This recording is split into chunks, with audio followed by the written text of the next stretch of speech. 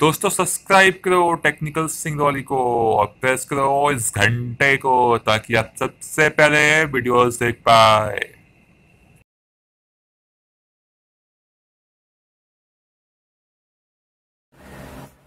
हाँ तो दोस्तों बाइक्स तो आप सभी लोग रखे होंगे और आज के समय में इतना अधिक पेट्रोल का दाम होने की वजह से आप लोग सोचते होगा कि यार पेट्रोल मेरी बाइक एवरेज बहुत कम दे रही है, बहुत ज़्यादा पेट्रोल पी रही है।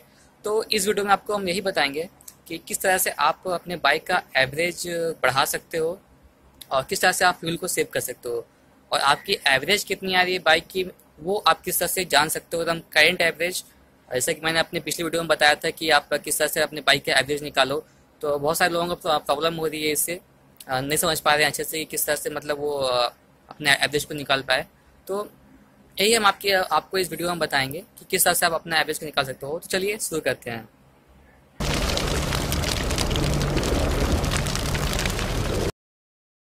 दोस्तों सब सबसे पहले आप देख रहे होंगे ये मेरी बाइक है पैसन प्रो और इसमें मैं आपको ये बताऊँगा कि आप किस तरह से एवरेज मतलब अपनी बाइक का चेक कर सकते हो। और जितनी चीज़ें मैं आपको बताया वो मैं आपको बताऊँगा। तो सबसे पहले मैं आपको स्टार्टिंग करता हूँ कोई आ, फ्यूल सेव करने के लिए। तो दोस्तों होता है ये नॉर्मली बाइक में खासतौर हीरो की बाइक्स हैं जिनमें इस तरह के फ्यूल की कैप लगे हुए हैं।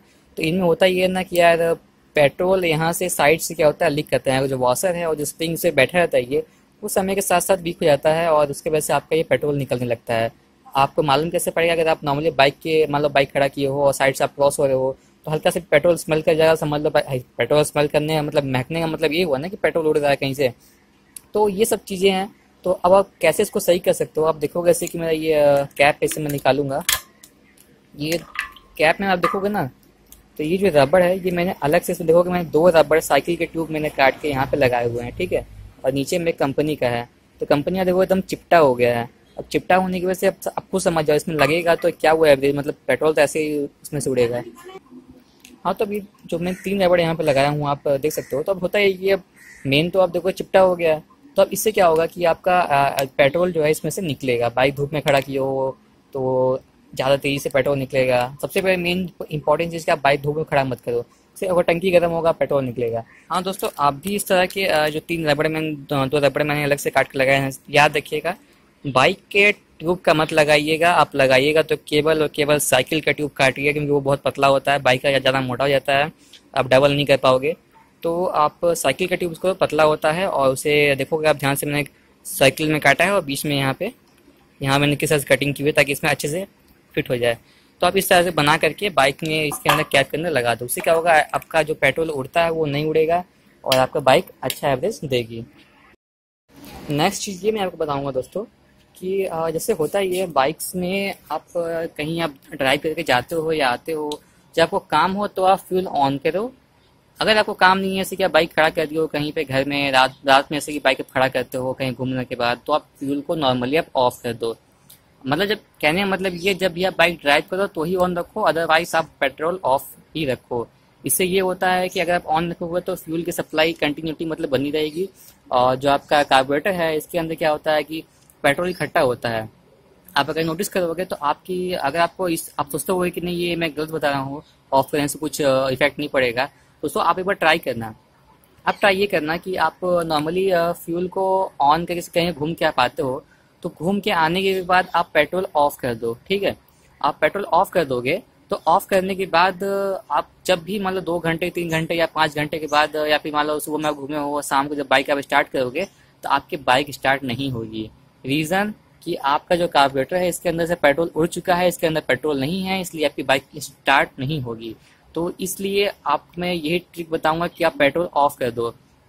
अब ये आप खुद ट्राई कर लो, अगर आपके में ऐसा होता है तो आप ऑफ़ रखो।